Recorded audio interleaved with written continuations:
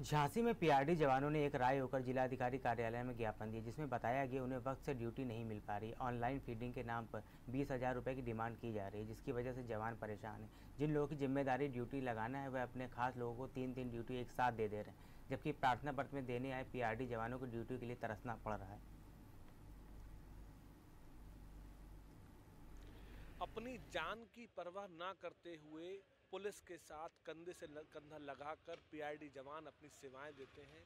कभी भी अपनी जान की परवाह नहीं करते और पीआरडी जवान पुलिस कर्मियों के साथ बैठते हैं। कोबरा ड्यूटी हो अन ड्यूटी हो वीआईपी ड्यूटी हो हर जगह ये मौजूद रहते हैं। लेकिन अब ये परेशान है पिछले नब्बे दिनों से इनको एक भी ड्यूटी नहीं मिल पाई है। भैया नाम क्या है? नाम मेरा करण सिंह है जी सर। करण सिंह जी किस बात को लेके आप सारे लोग डीएम ऑफ़िस आए हैं? क्या दिक्कत है? सर हम लोगों को ऑनलाइन नहीं किया जा रहा है सर। और ऑनलाइन वाली बात आती है सर तो हमसे बीस हज़ार रुपये मांगे जा रहे हैं। सर अब हम ऑनलाइन के लिए बीस हज़ार रुपये कहाँ से लेकर दें? सर तीन महीने से ड्यूटी नहीं लगी सर। और वो बीस हज़ार रुपये का मांग कर रहे हैं कि बीस हज़ार रुपये दीजिए हम हम ऑनलाइन करेंगे आपको। अब सर आप बताइए हम कहाँ से ऑनलाइन के लिए बीस हज़ार रुपये ले के दें? क्या मैं अपनी घरवाली को जेवर भेज दूँ? क्या कर दूँ बताइए सर? बीस हज़ार रुपये कौन माँगता है आप धर्मेंद्र कुमार अहिरवार कौन है डी ओ साहब क्या कहते हैं? ये कहते हैं कि बीस हज़ार लाओ जब ऑनलाइन ड्यूटी हो पाएगी आपकी। लगभग लगभग कितने लोग पीड़ित हैं उनसे? कल अट्ठाईस जवान हैं अभी हम लोग प्रेजेंट में। जी।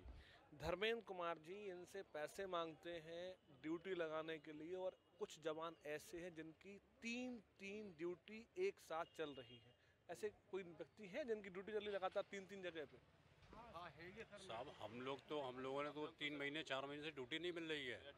घर में बैठे हुए हैं घर में घर में हम लोग परेशान हैं और धर्मेंद्र कुमार अहरवार जो हमारे डीओ हैं वो अपने लड़कों से अपने जवानों से एक ही पॉइंट पे तीन तीन चार चार बार जो है ड्यूटी करा रहे हैं। वैसे नियम क्या है?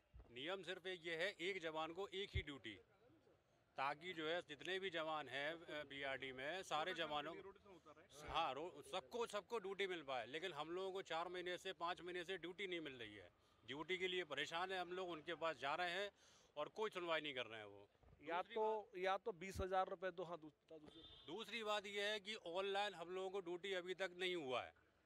वो उसके लिए जो है पैसे के लिए डिमांड की जा रही है बीस बीस हज़ार रुपये मांग रहे है। वो वो कह रहा है कि बीस हज़ार रुपया दो तब आपकी जो है ड्यूटी ऑनलाइन की जाएगी।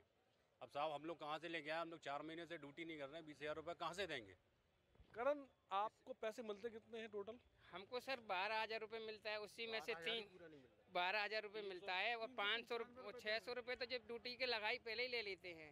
अच्छा। हाँ जब ड्यूटी लगती है छः सौ रुपये ले लेके फिर ड्यूटी लगाई जाती है। इसके बाद अब सब तीन तीन हज़ार रुपये महीने का पेट्रोल निकाल दो सौ रुपये रोज से। अब सब बच्चों को खर्चा काट दीजिए। अब मुझे बचा का है सर? और छः हाँ, छः हज़ार बचे। अब अब उसकी पढ़ाई में बच्चों की पढ़ाई में अब क्या बचा मुझे? अब इनको कहाँ से पैसे दूँ सर मैं? बीस हज़ार हाँ अब बीस हज़ार रुपये इनको कहाँ से दूँ मैं सर? और इनके जो लड़के हैं वो एक पॉइंट पे एक लड़का तीन ड्यूटी कर रहा है उसको तीन वेतन मिल रही और मुझको एक भी वेतन नहीं मिल पा रही है। अब आप देखिए ये न्याय है कि अन्याय हो रहा है मेरे साथ? सब हमारे सब जवानों के साथ अन्याय हो रहा है साहब। हाँ अट्ठाईस अट्ठाईस जवानों के साथ हो रहा है जो अन्याय हो रहा है हमें सब न्याय चाहिए। हाँ। सुपरवाइजर बना दिया।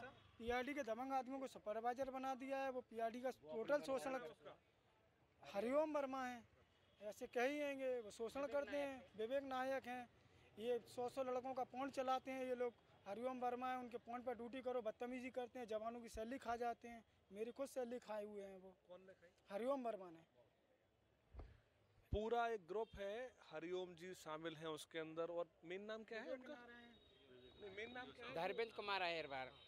धर्मेंद्र कुमार साहब इसके पूरे मास्टर हैं जो इन लोगों की ड्यूटी लगाते हैं। या तो बीस हज़ार रुपये पर व्यक्ति उनको दे अगर बीस हज़ार नहीं दिए तो आपकी ड्यूटी लगेगी नहीं। अट्ठाईस लोग परेशान हैं पिछले नब्बे दिनों से, और इनकी डिमांड यही है कि इनको ऑनलाइन किया जाए। ऑनलाइन एक पारदर्शी व्यवस्था है, जिसके माध्यम से एक रोटेशन में ड्यूटी मिलती रहती है। फिर ऐसा नहीं होता कि एक व्यक्ति को तीन तीन ड्यूटी मिल जाए एक साथ में, उस किसी को तीन तीन तनख्वाह मिल रही किसी के पास में एक तनख्वाह भी नहीं है। अब ये परेशान है, और ये गुहार लगाने आए थे डीएम ऑफ़िस में। अब इनके साथ में न्याय किस हद पर जाके हो सकता है कि इनके यहाँ आने के बाद इनके ऊपर एक्शन हो जाए कि आप लोग वहाँ गए थे और अब आपको गंभीर परिणाम भुगतने पड़े कुलदीप न्यूज़ अगर आपको हमारा वीडियो पसंद आया हो तो हमें लाइक करें सब्सक्राइब करें और ज़्यादा से ज़्यादा शेयर करें। और हाँ बेल आइकॉन दबाना ना भूलें, ताकि हर खबर का अपडेट आप तक पहुँचे तुरंत। आप हमें इंस्टा ट्विटर और फेसबुक पर भी फॉलो कर सकते हैं। हमारी आईडी है at the rate J M D news